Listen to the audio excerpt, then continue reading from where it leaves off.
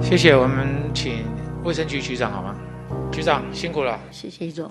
这两年的防疫看得出大家都很辛苦啊，也看到相当的成效。BA 五我们现在看起来是束手无策，没有武器嘛。我们现在没有次世代的疫苗，对不对？嗯，目前我们是没有次世代听说今天，所以说今天嗯 CDC 要、要要讲这件事情，我不知道了。在去年啊，蔡英文总统就宣布说已经订了两千万剂的次世代疫苗。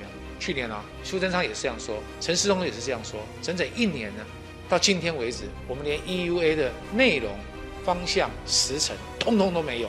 昨天开学，是你知道昨天开学，今天有多少家长收到停停课通知吗？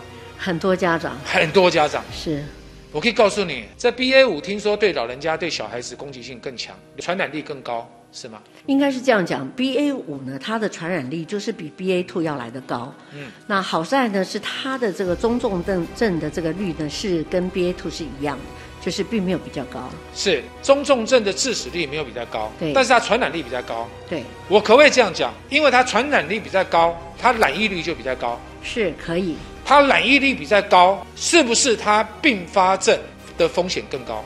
应该是这样讲，它总数目会比较高，对，还因为它的传染力会比较高。也就是说，如果是慢性病、长辈慢性病，或是小孩子，我们过去担心的心肌炎也好的等等，对不对？是有可能他本身自身有这些问题，但是因为他染疫而去激发他，或者是并发出来的东西，这个风险更高。就像一次染疫跟二次染疫，二次染疫很可能风险更高，对不对？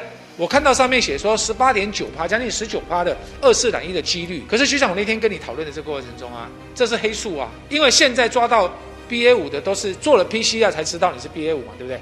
对，因为大部分的人我们都是用快筛阳确是诊，但是呢，有一些人我们是必须要做 PCR，是比如说第二次是，要染疫要认定的话，比如他就要做说他有规定你的工作性质，不管是技师或什么，或者是你的工作条件，职场要求你要做了核酸，你才能够通过，他就去做，对不对？对，或者是远距会诊的时候，医师觉得有疑虑的话，也会安排。是是是，但是如果以就现在民众来讲，反正两条线就确诊嘛，是。两条线阳性就是确诊了，我也不用报了嘛，因为现在免保险的嘛，也没有确诊什么居家隔离的补偿金什么都没有了嘛，他没有动机去报这件事情，甚至于他认为是轻症或是无症状，他连报都不报了，很可能嘛。那有一定的黑数，很可能嗯，尤其现在我们比较劳力密集的这些好朋友们，他根本不报啦。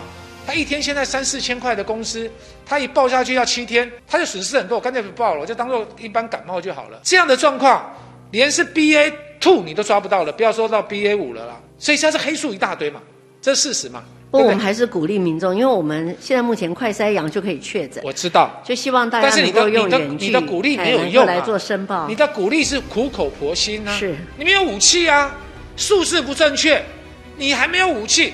现在一直鼓励打疫苗，打疫苗，打第三剂、第四剂，拼命叫人家打。我只打两剂，因为我打第三剂的前一天确诊，我以为我是天选之人，就不是。我以为我有无敌星星，又不是。我有可能二次感染，对不对？还非常有可能嘛。对，几率是没有那么高，但是确实是有。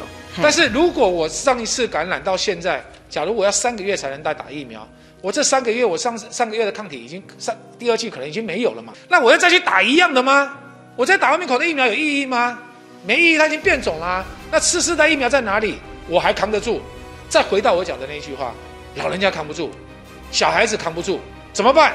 请你新北市政府卫生局超前部署。在没有武器的情形之下，观念上面不是苦口婆心，观念上面赶快做卫教，赶快做宣导。你看现在 CDC 在电视上面还在讲一九二二，还在讲的东西都是什么？要勤洗手、戴口罩，讲了两年了，还在勤洗手、戴口罩，不敢去面对问题。昨天才开学，今天有这么多小朋友被通知停课，这是很可怕的一件事情。昨天我不知道是有意还是无心，故意就说新北市是最高，数字上我们是最高了，因为我们分母太大了嘛。对我们是四百万，所以很多都是用数字来分母讲的话太大了。但是你知道有人就要把把它做文章啊，又是新北市，又是人口最多，我们分母大，分子当然大，可是选举就怕这样操作。我一直在强调，苦口婆心没有用。面对问题，你赶快把你的卫教的东西拿出来。我们大概每一个候选人都会愿意帮你传这样的资讯，让每一个民众都知道，尤其家长，家长很无奈，昨天送到学校，开开心心的进去，今天就要停课了，好不好，局长？好，没问题。提供一些资讯哎给我们我们有非常多的一些鼓励，提供一些资讯给我们，我们帮忙你应应这个 BA 五，好不好？好，好，谢谢，谢谢。谢谢。